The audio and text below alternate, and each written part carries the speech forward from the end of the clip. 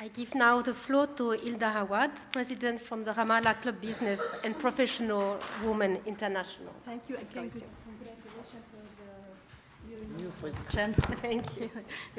Ladies and gentlemen, uh, first of all, I would like to thank the UFM, Mr. Fathallah, uh, for organizing uh, this. Uh, no. I would like to thank him for organizing uh, this meeting, for launching our uh, project, Young Women as a Job Creators. Also, I would like to thank Ms. Helena Di Philip, uh, Mrs. Stella Molly, uh, Molly uh, for their continuous uh, following up for this project, to be, which their fellowship bringing us here to start our project.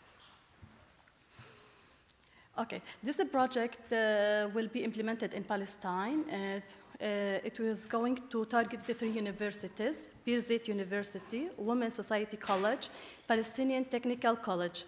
All of them, they are having a technical specialization that uh, they have uh, the background uh, of technical issue that can qualify them to open their own business in the labor market.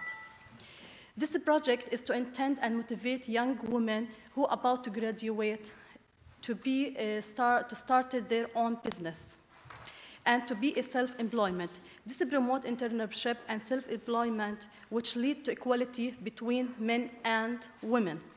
Female will be exposed at this uh, training through this uh, project uh, for seminars. These seminars um, will uh, be um, coaching uh, by uh, businesswomen who are currently in the labor market to provide, in order to provide these young women with the needed skills and reinforcement to start their own business. This will make them to transmission from education to work, which leads to growth and sustainable development equality with men and women empowerment. The seminars uh, are going to contain uh, these topics, self-motivation, key points for setting up a company, risk assessment, coaching for entrepreneurship, which are, all of these are very important in order uh, to improve uh, these girls' skills with this uh, topic, which I uh, said, in order to be qualified to open their own business in the labor market. As all we know, the world is facing many of challenges whether it's socially, politically, and technology.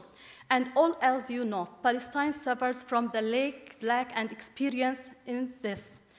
And we always need the support for improving these skills. Therefore, access to the world needs to the elementary reinforcement and methodological ways, which will be done through these uh, seminars, through this project, Young Women as a Job Creators.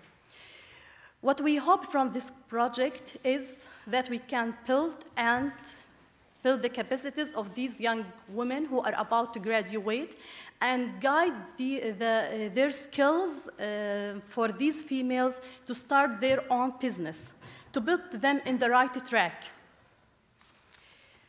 Lastly, I would like to thank all the attendants here who are uh, who are coming to celebrate uh, with us this, uh, the kickoff uh, of our project, on all, and all the people who are in charge for their Helena, Miss Helena, Miss, for their hard effort to set this project on the reality.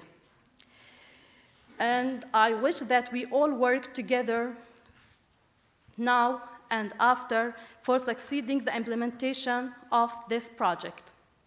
I would like to thank you again for hearing me. thank you.